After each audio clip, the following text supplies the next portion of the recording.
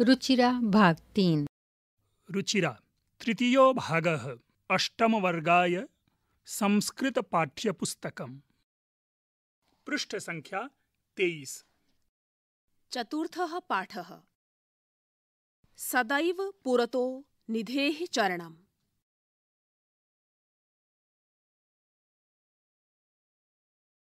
श्रीधर भास्कर वर्णेकर के द्वारा विरचित प्रस्तुत गीत में चुनौतियों को स्वीकार करते हुए आगे बढ़ने का आह्वान किया गया है। इसके प्रणेता राष्ट्रवादी कवि हैं और इस गीत के द्वारा उन्होंने जागरण तथा कर्मठता का संदेश दिया है। इस पाठ का परिवर्धन लोट और विधिलिंग के प्रयोग के लिए किया गया है।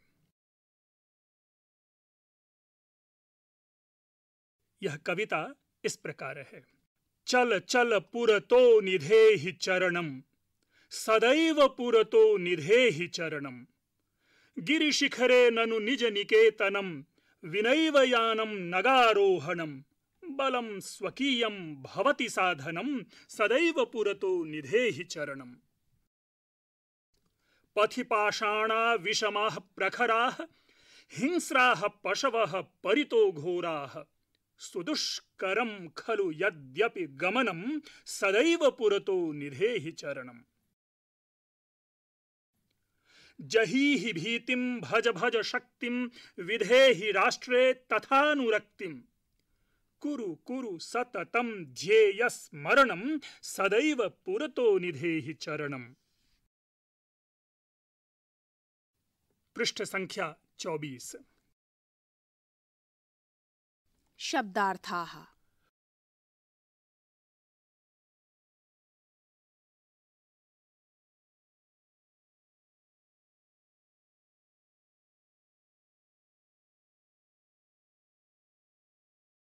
पुरतो अर्थात पुरतः। आगे। निधेहि। रखो। गिरि शिखरे। पर्वत की चोटी पर। निज निकेतनम। अपना निवास। विनैव। विना जमा एव। बिना ही। नगारोहणम। नग जमा आरोहणम। पर्वत पर चढ़ना। स्वकीयम। अपना। पथि। मार्ग में पाषाणाः। पत्थर। विषमाः। असामान्य। प्रखराः। तीक्ष्ण। अथवा नुकीले। हिंस्राः। हिंसक। परितो अर्थात परितः। चारों ओर। घोराः? भयंकर अथवा भयानक। सुदुष्करम। अत्यंत कठिनतापूर्वक साध्य।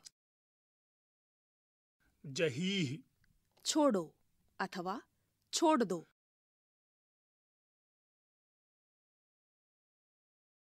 भजो अथवा जपो। विधेहि। करो अनुरक्तिम। प्रेम अथवा स्नेह। सततम। लगातार।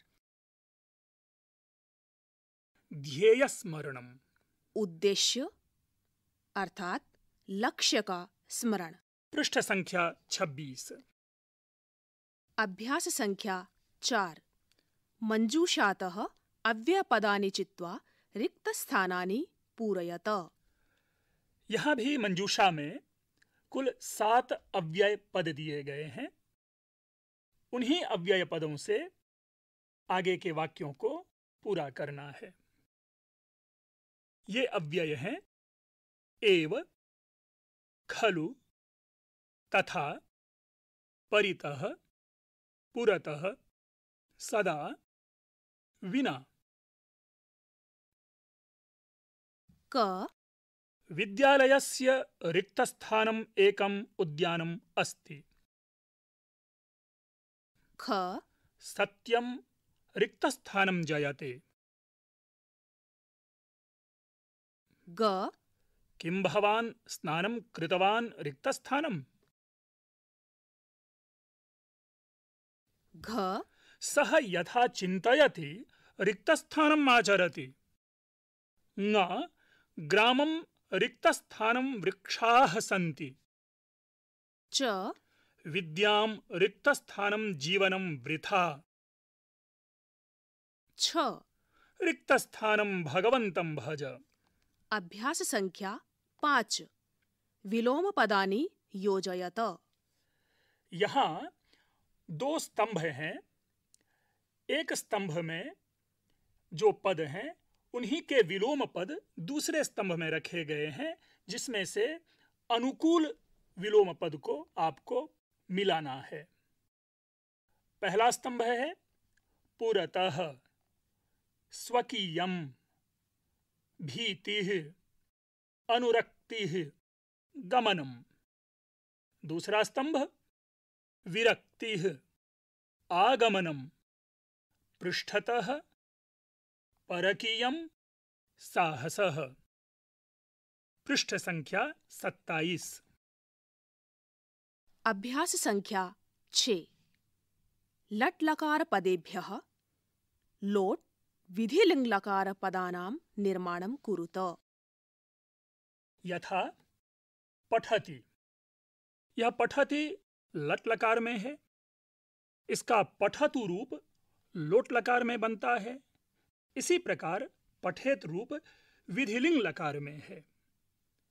आगे के पाँच लट लकार वाले क्रियापदों का लोट लकार और विधिलिंग लकार रूप आपको बताना है। ये क्रियापद इस प्रकार हैं। खेलसी खादन्ति पिबामि हसतः नयामः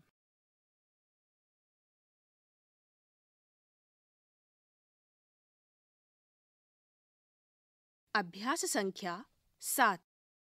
अधोलिखितानि पदानि निर्देशानुसारं परिवर्तयत। यथा, गिरिशिखर। इसका सप्तमी एक वचन, गिरिशिखरे। है इसी प्रकार आगे के शब्दों में, निर्देश है, आपको उस निर्देश के अनुसार उन उन पदों के रूप लिखने हैं। ये शब्द हैं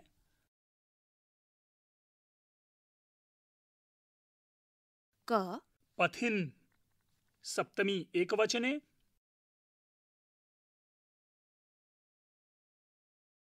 ख राष्ट्र चतुर्थी एक वचने ग पाषाण सप्तमी एक वचने घ यान द्वितीया बहुवचने। ङ शक्ति। प्रथमा एक वचने च पशु सप्तमी बहुवचने।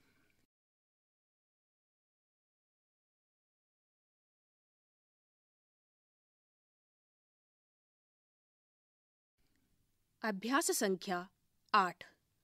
उचित कथनानां समक्षम् आम्। अनुचित कथनानां समक्षं न। इति लिखत। यथा पुरतः चरणम निधेहि तो उसके सामने लिखा गया है आम। इसी प्रकार आगे के वाक्यों में आपको आम या ना लिख करके उसके सही होने या गलत होने को बताना है। क। निज निकेतनम गिरि शिखरे अस्ति। ख। स्वकीयं बलं बाधकं भवति। ग पथि हिंस्राः पशवः न सन्ति। घ गमनं सुकरम् अस्ति। ङा सदैव अग्रे एव चलनीयम्। अभ्यास संख्या नौ। वाक्य रचनया अर्थभेदं स्पष्टीकुरुत। क परितः पुरतः। ख नगः नागः। ग। आरोहणम् अवरोहणम्। घ। विषमाः समाः।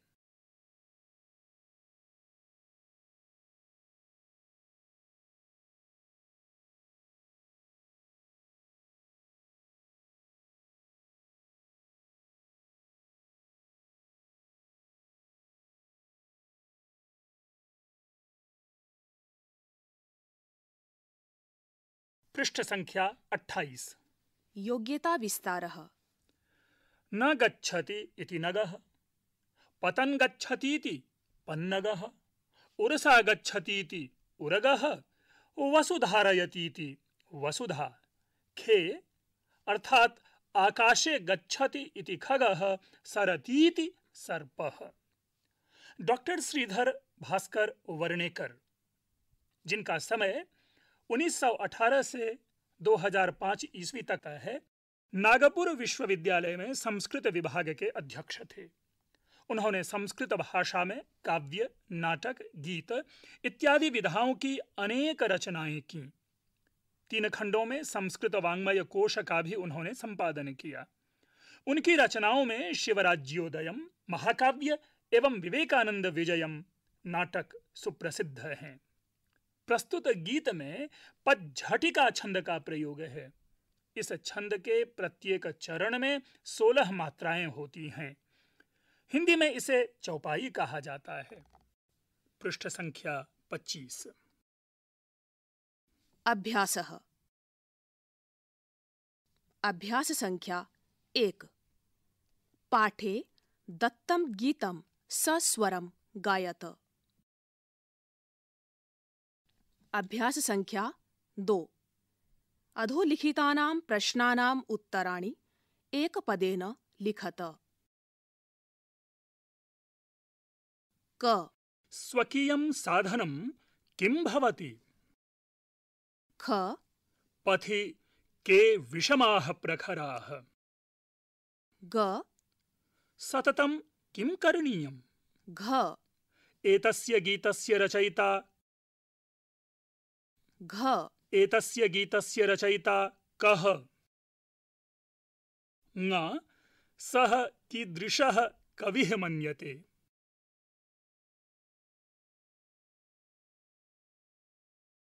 अभ्यास संख्या तीन। मञ्जूषातः क्रियापदानि चित्वा रिक्तस्थानानि पूरयत।